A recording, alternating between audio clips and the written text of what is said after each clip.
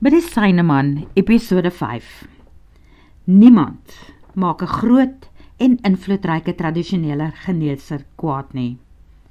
Die man wat vir homself 'n FNB bankrekening met 'n ID dokument in die naam van Karel Miller in Polokwane geopen het, kyk bekommerd na die groot toordokter voor hom. Hy het sy bes gedoen om die bestelling haarfyn uit te voer en duidelik was sy beste alweer nie goed genoeg nie. Ek het vir jou gesê die vet is dringend, maar jy kom met allerlei ander produkte hier aan. 80% van jou lys is afgetik, verdedig hy homself. En daarvoor sal jy betaal word. Maar as jy jou werk wil behou, sal jy meer aandag moet skenk aan dit wat as dringend gemerk word.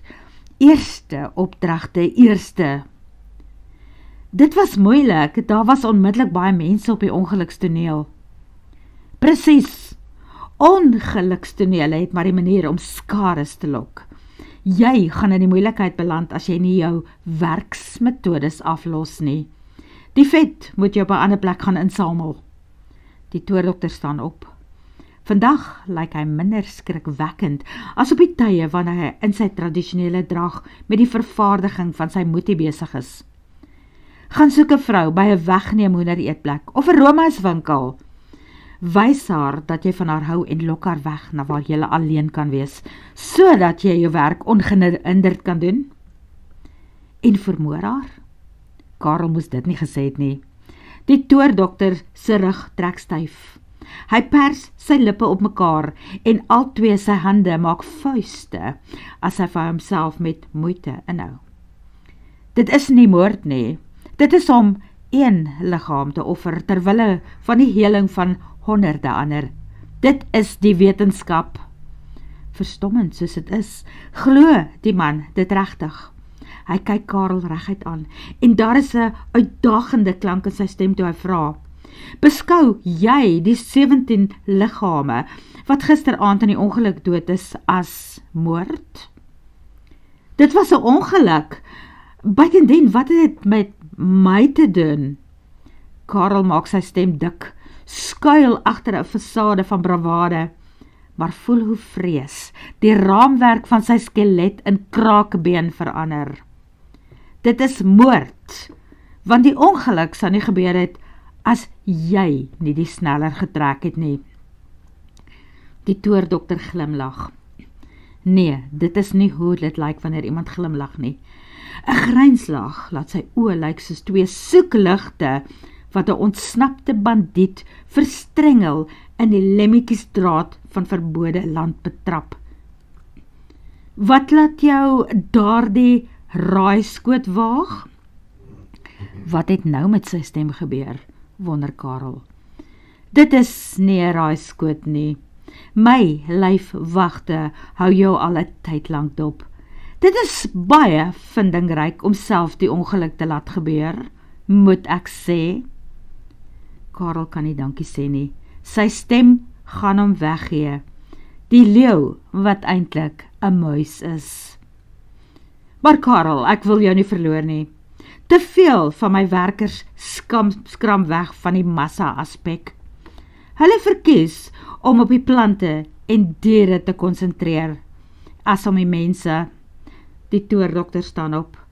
Ek sal vir ons sop laat kook vir ontbyt. Ek eet nie so vroeg in die oggend sop nie. Later, miskien spek en eiers, maar nie sop nie. Keer Karel. Die vorige keer wat hy iets saam met die toordokter gedrink het, het hy geen idee gehad hoe hy sy nuwe veertrek na die tyd in die stoor garage naby sy blyplek gekry het nie. Vandag sal jy eet. Jy vat my nie so in die gesig nie. Hou jy nie van my kos nie? Hy stuur een van die vrouens wat doodstil daar naby sit en wag het uit voordat hy verder praat. Plante en diere is maklik. Dit is waar die mensfaktor inkom waar die risiko groot raak. Dit is hoekom ek jou kans wil gee om jou belangrikste opdragte af te handel voordat ek jou die res van die lys gee. Die vet besef Karel. Haar hart, ja, en 20 kg vet. voeg die moetieman nog 'n item by sy bestelling.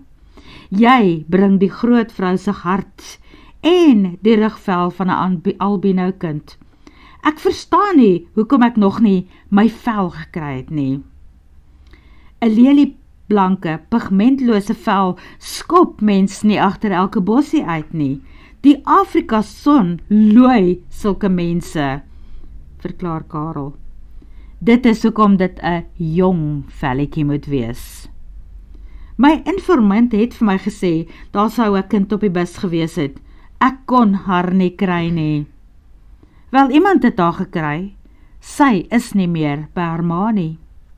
Die toordokter wys die vrou wat terugkom met die twee bakkies sop om dit tussen hulle neer te sit.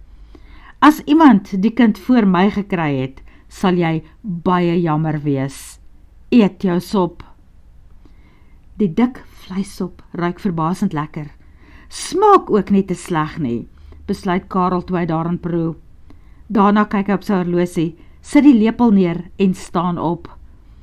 Dankie, laat ek nou gaan werk. Dit is asof daar skielik 'n diep skaduwee oor die wye sitkamer val. Hy moet hier uit. Hoe dieper hy betrokke raak, hoe meer raak hy bewus van donker magte waaroor hy nie beheer het nie. Jy het nie jou sop klaar geëet nie.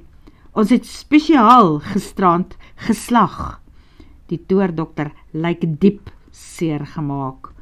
Lekker vars en ek waardeer dit, komplimenteer Karel sy gasheer. Maar dinge gaan nie van self gebeur nie. As jy my weer sien, is dit met die 20 kg vet en die vrou se hart. Die seep van 'n vrou se vet is baie werd. Dit is hoekom die geld so goed is en jy sal jou deel van die seep kry. Bad daarmee en jy word sterker as jou slagoffers. Ja, ek het al so gehoor oor sy dooie liggaam. Bad hy met seep wat uit mensvet vervaardig is, maar hy hou sy gesig reguit, uitdrukkingloos. Seker nie, maar hy moet liefs nie sy afgryse wys nie. Vat die res van die sop vir jou saam. Nee, dankie. Ek sal later 'n hamburger by die koffiewinkel gaan eet. Hy is net vaag bewus van die wagte wat soos altyd langs hom inval. Die volgende oomblik is hy swart doek oor sy kop en sy voete van die grond af. Hy skrik nie meer so groot soos daardie eerste keer nie. Daardie dag het sy sy broek nat gemaak van vrees.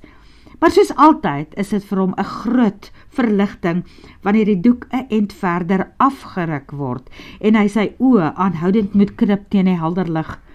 Die manne wat hom gedra het, is weer eens weg voordat hy gesigte kan eien.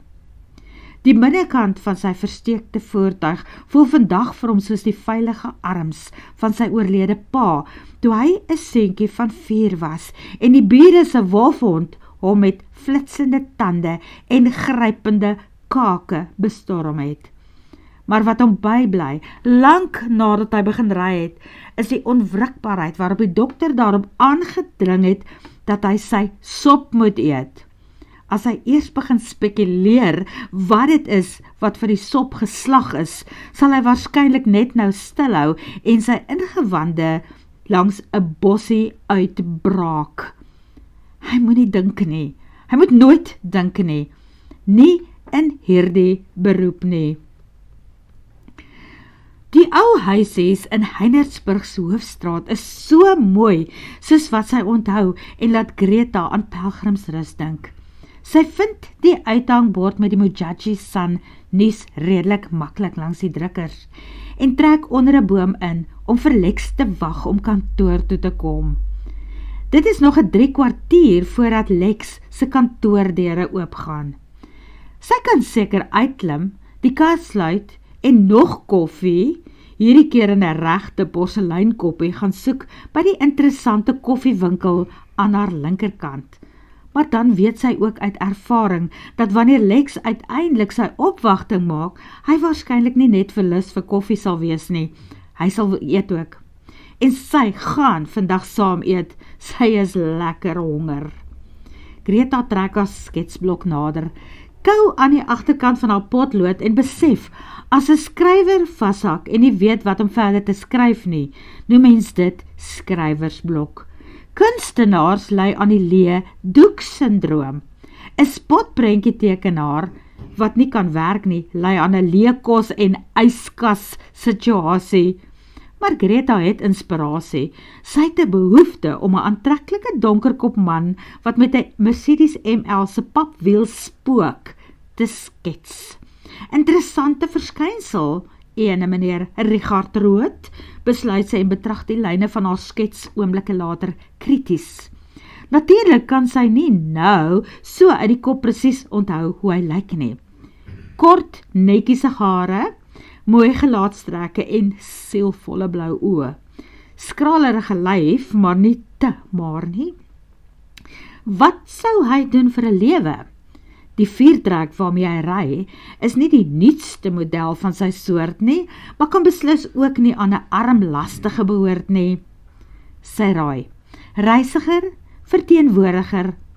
Hy verkoop waarskynlik duur stofsuiers, besluit sy en teken hom met allerlei huishoudelike toerusting wat so intelligent is dat dit kan terugantwoord as die merm opdragte uitdeel. 'n Stofsuier wat vir die vrou van die huis koeldrank op 'n skinkbord langs die swembad kom aflewer en die kinders namens haar skool toe en terug vervoer. Greta besluit dat die sketse waar Richard Rood die stofsuier soos 'n hond afrig haar algehele gunsteling is. Sy sal dit raam en binnekort in haar nuwe kombuis se kombuisie ophang. Sy skryf by: Sit, lê, rol om en die stofsuier gehoorsaam met swaaiende elektriese koord en wiele wat punt in die wind staan. Sy loer weer na haar horlosie. Dit is amper kwart voor 9. Die plek sal seker enige tyd van nou af lewe kry. Haar potloop bodder weer met Richard Rood se vaardigheid. Dalk is die man 'n boer. Hy is dalk die rots van die omgewing se samelewing wat op die kerkraad dien en van die algemene sinode vergadering in Potchefstroom af terugkom. Sy teken hom staande agter die stuurwiel van die ML wat met trekker agterwiele toegerus is. Oor sy gesig hang 'n hoed en sy oë glinster agter 'n duur ingevoerde sonbril. Sy skryf onderaan: Boer soek 'n vrou. Daarna kyk Greta rond om te sien of Lex nie al iewers geparkeer het nie. Sy is lankal nie meer die enigste voertuig in die straat voor die winkels nie. amper wil sy glimlag toe sy sien dat die piepklein Heinertsburg ook 'n motorwa het. Die vrou met die oranje veiligheidsbaadjie sien 'n man aankom wat toe sy op hom afstorm, tree hy haastig agter 'n boom in, asof hy wegkruipertjie speel. "Duifie, waar was jy vanoggend toe die bussie vertrek het?" roep die vrou en hardloop op die man se skuilplek af. "Pietie wou nie vir jou wag nie. Ek het hom probeer keer. Toe sê hy hy kan nie die ander ouens laat op die job kry nie. Is jy weer besig met private stuffie?" Sjankie, ons praat nie hier daaroor nie. Die bome en karre het oë en ore. Kan Greta net net die man wat pas as duifie aangespreek het se stem hoor. Hoe sal 'n spotprent kunstenaar duifie se privates op papier vas lê? Privates wat groot en belangrike sake is en so hoogs geheim is dat die man agter 'n boom se stam moet wegkruip om sy geheim te bewaar maak hy dalk blikkies en bierbottels in sy vrye tyd bymekaar. 'n Manslyf met 'n duifkop loop en speel op 'n fluit en hordes blikkies, papiere en bottels kom van heinde en ver soos muise uit die dorp aan en volg hom na die dumping site waar hulle paaie skei, blikke by blikke, glas by glas en papier by papier. Al konsentreer sy hard op haar werk, spits Greta haar ore by die oop venster om te probeer luister wat die twee praat. Dit is deel van haar nuwe werk, van dikwels kom 'n joernalis se beste wenke hiervan grondvlak af, besluit sy. Sy teken haarself met ore so groot soos DStv skoddels waar sy op haar maag lê en luister na diep geheime wat ondergronds uitbroei. Miskien sal ek binnekort hierdie parking job met los, Santjie, sê Duifie en Greta kan net raai dat dit die keer sy oogies is wat soos woer woere ronddraai om seker te maak dat daar nie mense is wat afluister nie. Jy moenie worry as ek soms laat kom of glad nie opdaag nie. Ek gaan groot geld maak. En nou gaan ek daar aan die kant lê en 'n bietjie slaap. Ek is gaar. Moenie my soek nie. Ek sal jou wakker maak vir middagete of as Pietie kom, hy gaan jou kamer vir iemand anders gee as jy nie op die job is nie. Sy volgende uitroep laat Greta besef dat Pietie se goedkeuring of die kamer nie vir Duifie belangrik is nie. "Sis Duifie, jy vlug deesdae baie lelik," raas Santjie voordat sy na mense se stap wat van iewers af terugkeer na hulle kar toe. "Ek het mooi gekyk terwyl jy koffie gedrink het." Maar die twee vrouens ignoreer haar asof sy 'n bries in die wind is, lastig maar onsigbaar. Freksels se tewe rasies, brom Santjie toe hulle wegry sonder om die gebruikelike almoesie vir 'n opgepaste kar te betaal. Hulle doen dit altyd, die rykes met die smart karre. Nie 'n maklike manier om 'n mens se brood en botter te verdien nie. Kan Greta nie help om te dink nie. Op daardie oomblik ryg Lex se langerige lyf uit 'n platterige sportmotortjie onder 'n paar skaduweenette naby die koffiewinkel. Greta maak vensters toe en klim uit. "Kan ons maar kyk, mevrou? My naam is Santjie," vra die motorwag. "Asseblief ja, al my aardse besittings is in die kar en op die sleepwa," erken Greta. "Ek sal mooi kyk terwyl jy shop," troos die vrou en kyk die inhoud van die sleepwa krities deur asof sy 'n inventaris opstel om seker te maak dat niks van die sleepwa afklim nie. Ek gaan nie shop nie. Ek is net op die dorp en ontmoet die baas van my nuwe werk in die koffiewinkel. Verduidelik Rita. Oh, Lex Avenant van die koerant, vra Saantjie. Sy maak waarskynlik die afleiding omdat Lex reguit na Greta toe aankom. Die einste Ek dog jy maak nog 'n bedseer in Polokwane. Lex trek haar teen hom vas. Welkom op ons mooi dorp, Greta. Sal ons eers iets eet voordat ek vir jou die kantoor gaan wys? Ja, dankie. Ek is nuuskierig oor die kantoor en alles, maar ek is regtig honger. Wel dan gaan ons eers eet. Lex stap reguit na die koffiewinkel toe. 'n Goeie keuse, want die reuk van gebraaide spek, roosterbrood en vars koffie laat haar maag sommer draai. Wanneer kom jou trek? vra Lex nadat die kelner hulle bestelling geneem het. Ek het nie trek nie. Alles wat ek besit is in die sleepwa en kar wat daar onder die bome staan. In daardie geval ry ons plot toe sodra jy die kantoor gesien het sodat jy kan gaan uitpak en nes skraap Sy oë kry daardie spesiale glans van 'n koerantman wat 'n vloerblad storie ryk voordat hy vorentoe Lene vra: "Het jy gisterand vir ons mooi fotos saam met die storie gekry?" Daar het 'n interessante verslag van die SAP deurgekom. Kan nie wag om jou reaksie te sien wanneer jy dit lees nie. Wat is dit? Kom ons geniet net eers die ontbyt. Dit is nie 'n moeilike opdrag nie. Die kos wat die kelner net daarna op die tafel tussen hulle neersit, lyk heerlik dekadent. Eiers, spek, 'n kaasworsie, hoenderlewertjies, sampioene en 'n gebakte aartappelkoekie. Twee snye roosterbrood en die romerigste koffie. Lanklaas in haar lewe het kos so goed gelyk en geproe. En toe die koffie, sy die koffie roer,